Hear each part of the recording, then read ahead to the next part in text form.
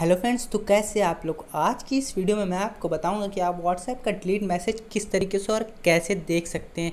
जैसे कोई आपको व्हाट्सएप पर मैसेज करता है या बंदा हो या आपकी कोई बंदी हो, कोई भी मैसेज करता है, उसे तुरंत डिलीट कर देता है तो आप उसे नहीं देख पाते क्योंकि व्हाट्सएप का मैसेज डिलीट हुआ होता है। डिलीट टू एवरी पे क्लिक करके डिलीट हो जाता है वो मैसेज तो आप उसे नहीं देख पाते हैं।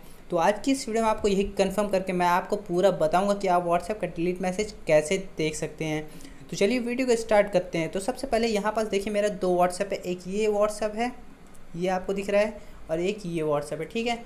अब ये दो व्हाट्सएप है, मैं एक व्हाट्सएप से दूसरे व्हाट्सएप पे मैसेज करके उसे डिलीट करके मैं आपको दिखा दूँगा कि व्हाट्सएप मैसेज डिलीट हुआ है कि नहीं। तो यहाँ पास मैं अपना व्हाट्सएप ओपन करता हूँ, और यहाँ से दूसरे व्हाट्सएप पे मैसेज करके हाय हेलो कैसे हो?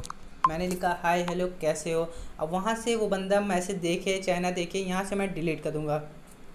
ठीक है? यहाँ डिलीट टू एवरीवन पे क्लिक करके मैंने डिलीट कर दिया।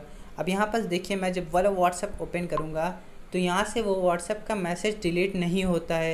ये क्यों होता है? क्यों नहीं होता है? मैं आपको आगे वीडियो बताऊँगा क्या करना है, आपको कौन से ट्रिक यूज़ करना है, क्या करना है आपको। तो ठीक है, यहाँ पर मैं आपको दिखा दिया कि ये मैसेज डिलीट नहीं हुआ। अब आप सोचेंगे, कोई भी इमेज या वीडियो भेजेगा तो वो तो डिलीट हो जाएगी। वो भी नहीं होगी, मैं आपको कंफर्म करके मैं दिखा देता हूँ।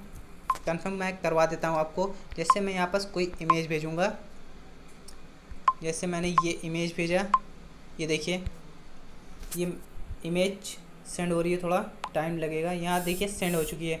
ठीक है? अब ये इसी इमेज को मैं डिलीट कर दूँगा। डिलीट एवरी वन पे क्लिक करके मैंने डिलीट कर दिया।